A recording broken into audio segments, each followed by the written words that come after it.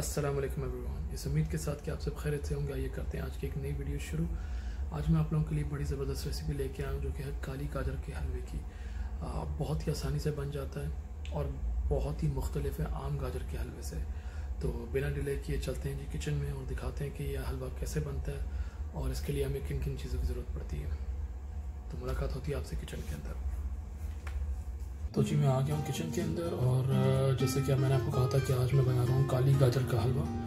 तो इतनी आपके सामने जो गाजर रखी हुई है, मैंने धो के इसको पील करके इसे कद्दूकश कर लिया।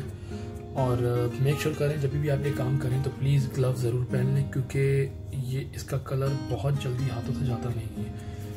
तो मेक श्योर करें, जब भी आप ये कद्दूकश करें इसको पील करें तो दोनों हाथों में ग्लव ज़रूर पहन लें। चलिए कर लेंगे सबसे पहले गैस को ऑन गैस चालू करने के बाद इसको थोड़ा सा गर्म करेंगे पैन को। हमें ज़रूरत होगी चार से पाँच इलायची की, जिसे हम भून लेंगे थोड़ा सा। ओके, जो तो गर्म पैन के अंदर मैं थोड़ा सा डाल दूँगा पहले ज़ाफ़रान। और उसके साथ जो इलायचियाँ थी। और इसे कर लूँगा थोड़ा सा मैं गर्म।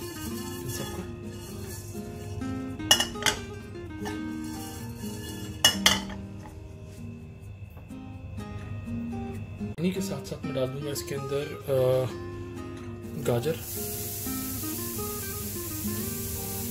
और इस वक्त पे अभी इसमें तेल या घी या चीनी कुछ भी नहीं डालनी। ठीक है? इसको थोड़ा सा मैं हिला दूँगा और और इसी के साथ साथ इसमें डाल दूँगा फ्रेश मिल्क।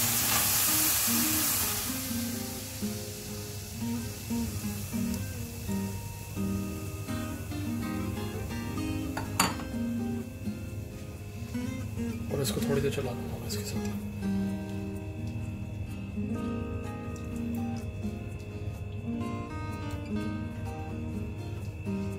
आप दूध का कलर देख सकते हैं, बिल्कुल पर्पल जामुनी कलर हो गया इसका। और इसे हम इसी तरह से पकाएँगे। जब तक ये दूध जो है कड़ के बिल्कुल दूध सूख ना जाए इसका, तब तक हम इसे पकाएँगे। मेरी हमेशा से यही कोशिश होती है कि मैं अच्छी से अच्छी रेसिपी जो है वो आसान से आसान तरीके से बना सकूँ और बना के अपने व्यूअर्स को दिखाऊँ इस चीज़ को कि कुकिंग जो है वो बिल्कुल ही मुश्किल नहीं है, बहुत आसान है। और मैं आपको बताऊँ कि इस टेस्ट पे कोई कॉम्प्रोमाइज़ नहीं है। बहुत इजी मेथड है, थोड़ा सा टाइम लगता है दूध कड़ने में और दूध सूखने में। उसके अलावा बिल्कुल भी मुश्किल नहीं है ये रेसिपी और मैं आपको बताऊँ एक और चीज़ कि ये जो आम गाजर का जो हलवा हम बनाते हैं, उससे बहुत ज़्यादा अच्छा हलवा बनता है तो आप लोग ज़रूर घर पे ट्राई कीजिएगा प्लीज़ ये हलवा। अच्छा जब ये उबलना शुरू हो जाए तो इसके, इसको हम थोड़ी देर के लिए ढक के पका लेंगे। मुझे तो 10 मिनट कवर करके पकाने के बाद मैंने ढक्कन खोल के अब इसको तब तक पकाऊँगा जब तक कि ये बिल्कुल इसका दूध जो है वो सूख ना जाए। उस वक्त तक आपको इसको काटना है दूध को बिल्कुल। मैंने एक और पैन रख लिया गैस ऑन करने के बाद मैंने उसमें डाल दिया घी। घी जैसे ही गर्म हो जाता है, उसके अंदर मैंने ये कुछ पिस्ता, बादाम और वॉलनट्स अखरोट काट के रखे थे। ये मैं इसके अंदर डाल दूँगा इसके साथ ही।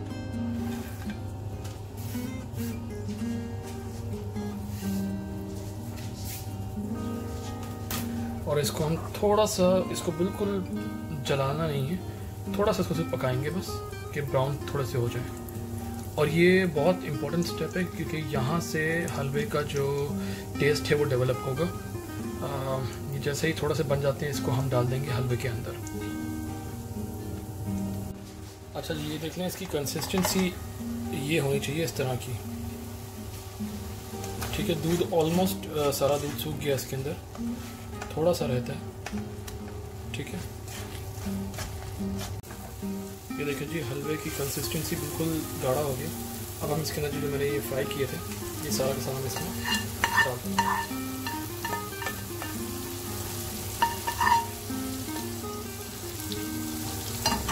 और इसे डाल के कर देंगे मिक्स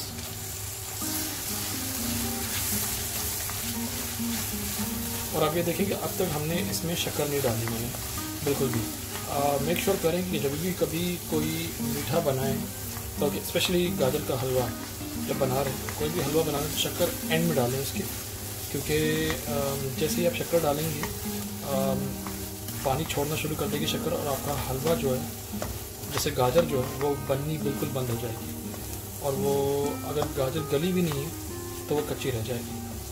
तो जैसे ही अब देखेंगे गाजर अच्छी खासी गल चुकी है, हमने दूध काट लिया इसके बाद अब हम इसमें ऐड करेंगे शुगर अपने हिसाब से शुगर आप ऐड करें प्लीज़ ज़्यादा मीठा खाते हैं, ज़्यादा शुगर डाल दें, कम मीठा खाते हैं, कम शुगर डालें. मैं इसमें अबाउट फिल वक्त चार टेबल स्पून के करीब मैं इसमें शुगर डालूँगा. अगर मुझे बाद में देख मैं एक बार चेक कर लूँगा, अगर मुझे ज़्यादा ज़रूरत पड़ी तो मैं इसके बाद और डाल दूँगा इसके अंदर.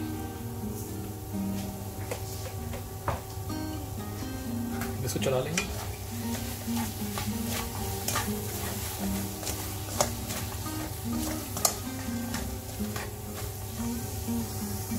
पे मैं इसमें डाल दूँगा एक टेबल स्पून के करीब रोज़ वाटर एक टेबल स्पून से थोड़ा सा, डेढ़ टेबल स्पून इसके अंदर रोज़ वाटर डाल दिए। इसे कर लेंगे मिक्स अब देखें मेरे शुगर डालते ही जो है हलवा फिर से गीला हो गया। बिल्कुल पानी से छोड़ दिया शुगर ने। अब इसको पकाते रहेंगे, जब तक कि ये हलवा एक बार फिर से ना सूख जाए। अब इस वक्त इस वक्त पे मैं इसके अंदर थोड़ा सा जो ऊपर से इलायची पाउडर जो है हाफ़ अ टी स्पून जो है वो इसमें इलायची पाउडर में डाल दूँगा ऊपर से। याद रखें हमेशा गा, काली गाजर का जब भी हलवा बनाएँगे आप तो उसके अंदर इलायची पाउडर जो है बल्कि इलायची ज़्यादा जाएगी उसके अंदर हमेशा। जो नॉर्मल आम हलवा बनता है गाजरों का उसके अंदर इलायची कम जाती है। कर देंगे मिक्स और सिर्फ़ इसको सूखने तक पकाना है और और हलवा तैयार हो जाएगा ये देखिए जी, हलवा हो गया तैयार।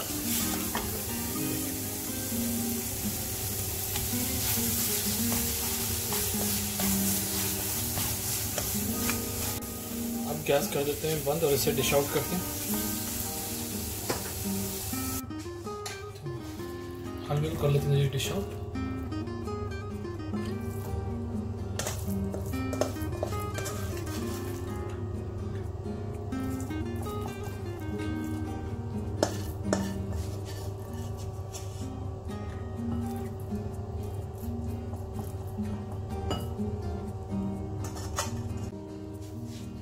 पे लगा देंगे एक चांदी का वर्क।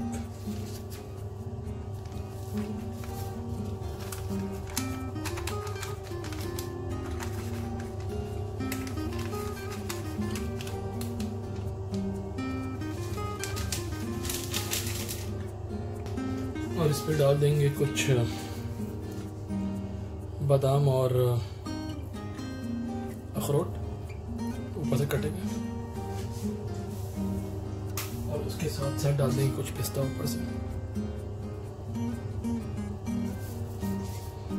तो ये है जी हमारे काली गाजर का हलवा रेडी और घरों पे अपने प्लीज़ ज़रूर ट्राई कीजिएगा।